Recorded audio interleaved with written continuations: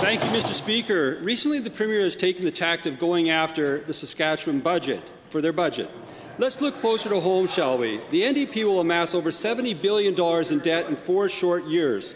The recurring cost to Albertans in order to service that debt will be over $2 billion, which incidentally works out to a burden of over $1,200 added to every household in Alberta each year. To the Premier, does she not recognize that adding debt is tantamount to piling taxes onto the backs of future Albertans? Minister of Finance.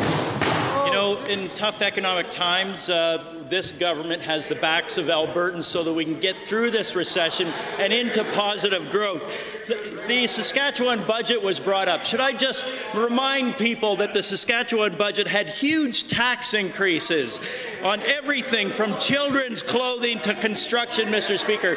We've kept taxes flat this year. We did not raise taxes. We are bringing in support for Albertans in every respect. You know, in Saskatchewan, they had massive cuts to education, health care, and hundreds of millions of dollars are gone from their economy. A levy is a tax.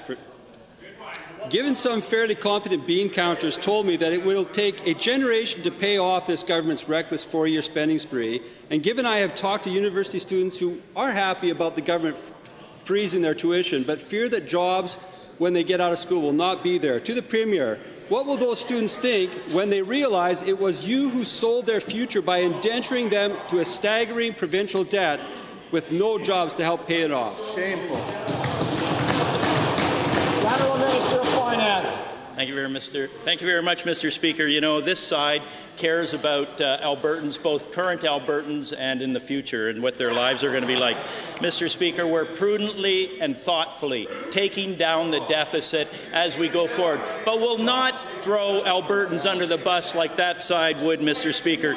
And I want you to, to know, Mr. Speaker, that the, uh, the uh, Conference Board of Canada said that the, uh, the, the budget for Saskatchewan won't be stimulative to that province. We are doing things that stimulate our economy. Is doing the opposite thing, and they're going to suffer for it. Second supplemental. Mr. Speaker, given the Premier says, quote, you're living in a fantasy land for believing you can balance the books without impacting frontline services or hiking taxes, end quote.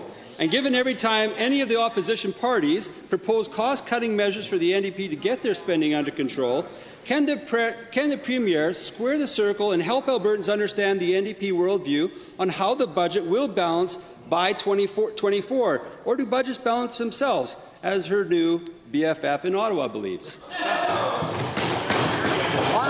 Minister. Uh, thank you very much, Mr. Speaker. We're, as I said, we're thoughtfully working with Albertans and bringing the uh, programs and services forward they require.